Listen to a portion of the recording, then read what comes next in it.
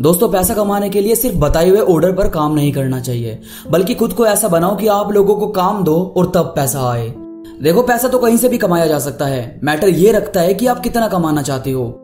किसी ऑफ़िस में काम करके आप इतना पैसा नहीं जोड़ सकते कि आप अपनी मर्ज़ी की गाड़ी ले लो या कहीं घूमने निकल जाओ। पर आपका खुद के बिज़नेस पर फोकस करना आपको हर तरीके से पैसा कमाना सिखा सकता है। गुलामी करके सिर्फ़ जरूरतें पूरी होती है और मालिक बनकर ख्वाहिशें। फैसला आपके हाथों में है, आप करना क्या चाहते हो? देखो यार, अगर आप बहुत पैसा कमाना चाहते हो, कोई भी बिज़नेस करके उसमें सक्सेस होना चाहते हो तो ये वीडियो आपके लिए है। इस वीडियो में आपको जो मैं बताने जा रहा हूँ, आपको उन चीज़ों पर फोकस करना ही होगा, जो बिज़नेस के लिए सबसे ज़्यादा ज़रूरी है।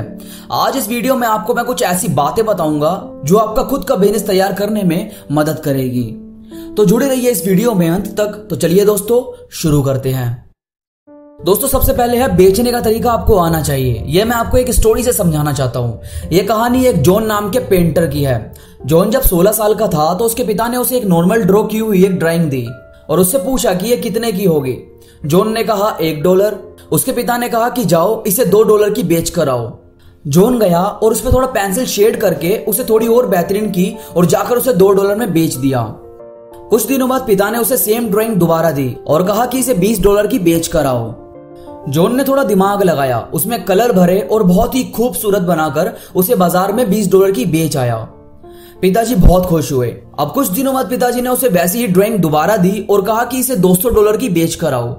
अब जॉन को काम थोड़ा मुश्किल लग रहा था, पर वो हारा नहीं। उसने दिमाग लगाया। उसने फिर से खूबसूरती से उसमें रंग भरे और उसे ऐसी जगह ले गया जहाँ कुछ फिल्मी सितारे देखने को मिल जाते हैं। उसने वहाँ पहुंचकर उनमें से किसी से पेंटिंग पर साइन करवा लिया और बाज़ार में उस पेंटिंग को साइन की वजह से 1200 डॉलर का बेचा। मतलब यार, आपका चीज़ें बेचने का तरीका, आपके प्रोडक्ट प्रेजेंट करने का तरीका, आपकी मार्केट खुद ही खड़ी कर देता है। इसलिए चीज़ों को बेचना, उनको किस तरीके से बेचा जा सकता है, ये चीज़ें आपको आनी ही चाहिए।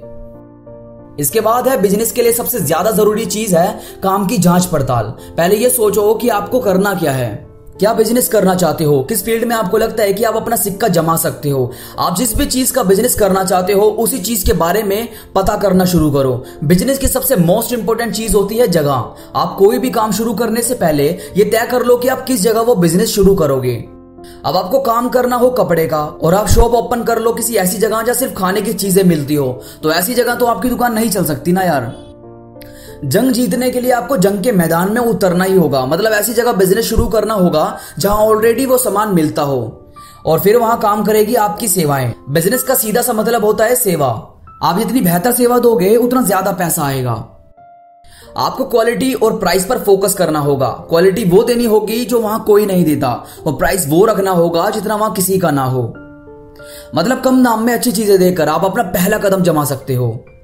ग्राहक को वो चीज़ें दो जो वो चाहता है। आपने एक बार मार्केट समझ ली तो आपको अपनी चीज़ें बेचने से कोई नहीं रोक पाएगा। हर चीज़ में क्वालिटी सबसे ज़रूरी चीज़ होती है, जो हर कस्टमर को आपसे बाँध देती है। आपको अपने कस्टमर्स को वो चीज़ें देनी होगी जो उसे बहुत ही ज़्यादा आकर्षित करे, जिसे देखने या लेने के बाद उसे ये फील हो कि आगे की सारी चीज़ें भी आपसे ही लेनी है। तभी आपका बिज़नेस बहुत जोरों से चलेगा।